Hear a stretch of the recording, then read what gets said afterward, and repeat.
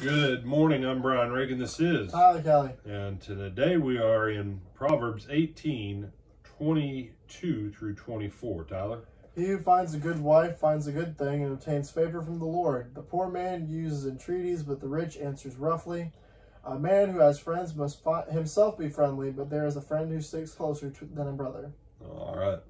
Does yours say whoever finds a good wife?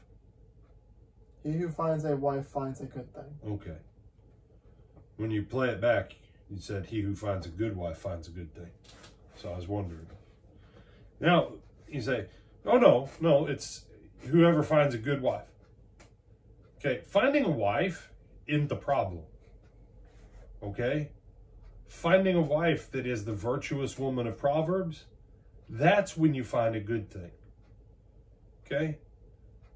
Don't don't don't go, hey, I went out and I found this chick and I asked her to marry me and she said, I do. I will, baby. What's your name? And then I told her my name and we got a marriage date in two days. We're gonna we're gonna go when the Justice of Peace opens up on Monday. We're getting married. Uh, Methuselah, have you thought this through? Yep, because Lord says, whoever finds wife finds a good thing. I found her. Um, do you know anything about her? Well, I mean, she's had, you know, she, she broke off 14 other engagements when she said yes to me. So I know she means it with me. Uh, maybe you should take six months. Get to know her. No, Lord said, if I find a wife, I found her. Okay. Yeah, no, that's not what the Lord's talking about. The the wife, it's the virtuous woman, the woman of wisdom that's in Proverbs.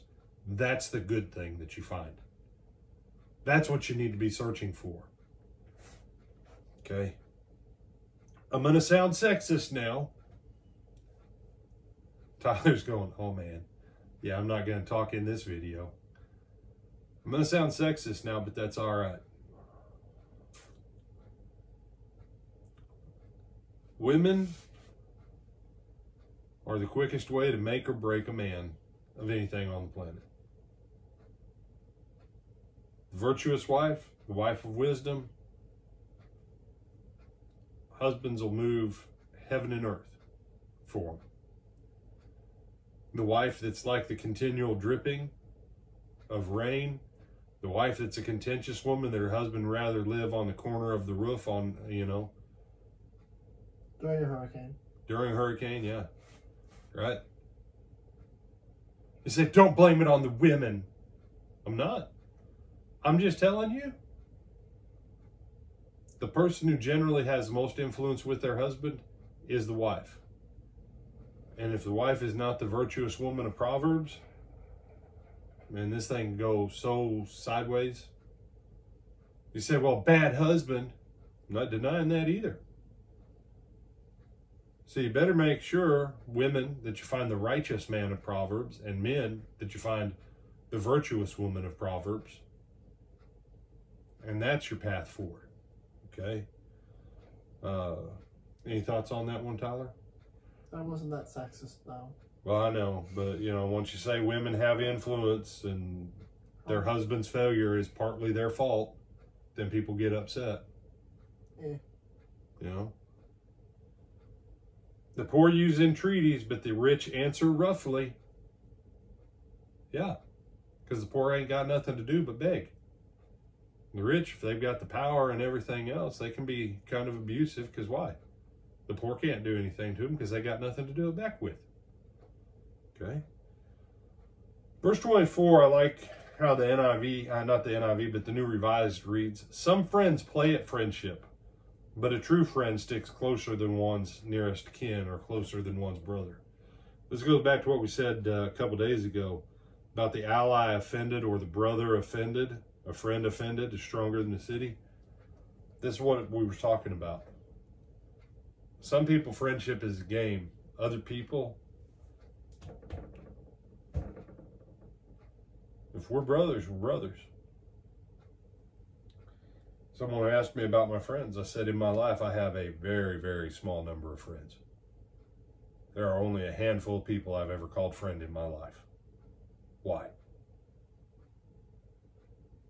Now, all my friends are also my brothers in Christ, but not all my brothers in Christ are my friends.